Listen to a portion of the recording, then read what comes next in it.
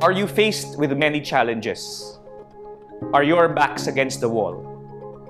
Then Zoro, the first mate of the Straw Hat Pirates from One Piece, has a Moovoo message for you. Zoro says, Only those who have suffered long can see the light within the shadows. This may be a very challenging time for you, and you may have been suffering long in the darkness. Just lean on the words of Zoro. Know that your situation is not permanent. Just know that you will eventually see the light. That your dawn will follow your night. And you will see the light within the shadows. The unique insights and perspectives that only those who have suffered long can truly learn.